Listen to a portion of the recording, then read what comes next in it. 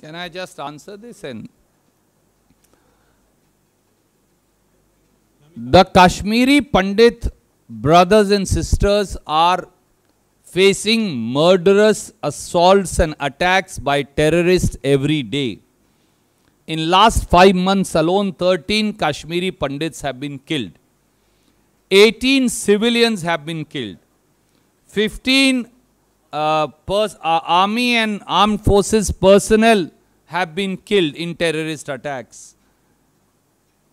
Last 24 hours, and in fact little before that, our brothers and sisters, Kashmiri Pandits, have been protesting against Modi government, asking to be shifted back to secure locations as they are unable to live and government is unable to provide them security as also protect their life. Tell me, if Prime Minister Modi and Amit Shah ji can't protect the lives of our Kashmiri Pandit brothers and sisters, do they have even right to remain in office? It's all right to publicize films in order to polarize and divide.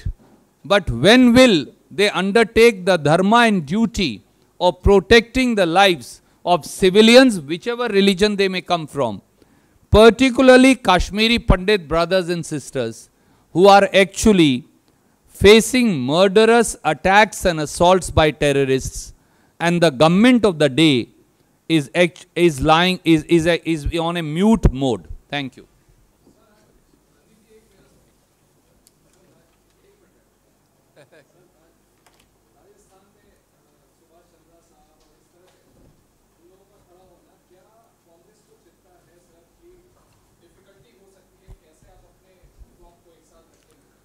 आदरणीय साथी, तीन बातें मैं आपके समक्ष रखूँगा। पहली, एक हमारे मित्र निर्दलीय उम्मीदवार के तौर पर राजस्थान की राज्यसभा में खड़े हैं, पर उनके नामांकन पत्र पर किसी निर्दलीय विधायक के दस्तखत ही नहीं। भारतीय जनता पार्टी के लोगों के दस्तखत हैं। भारतीय जनता पार्टी के पास केवल 30 वोट स्पेयर हैं। तो 30 से 41 वोट कैसे बनेंगी? क्योंकि उनके पास तो कोई और वोट है नहीं। और सभी तेरह निर्दलीय विधायकों ने कांग्रेस को समर्थन दे रखा है।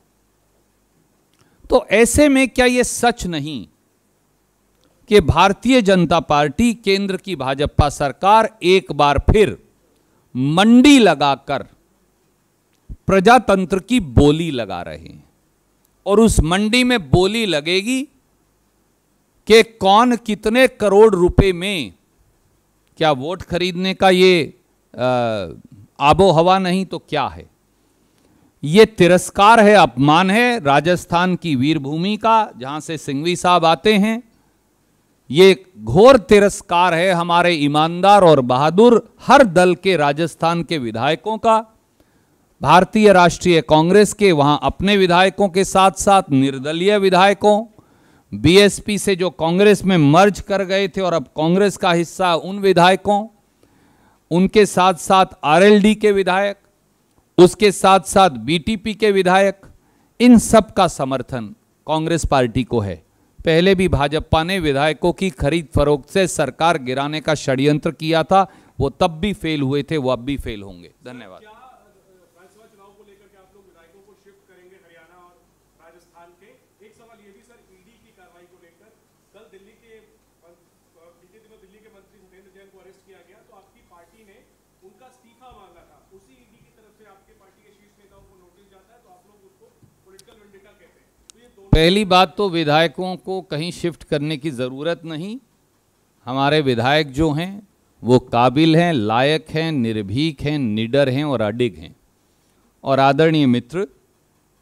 कम से कम आप केस के, दोनों केस के तथ्य मैं ज़रूर आपसे हाथ जोड़कर विनती करूँगा, उनका थोड़ा सा अध्ययन करेंगे तो आपको अंतर अपने आप नज़र आ जाएगा। शुक्रिया।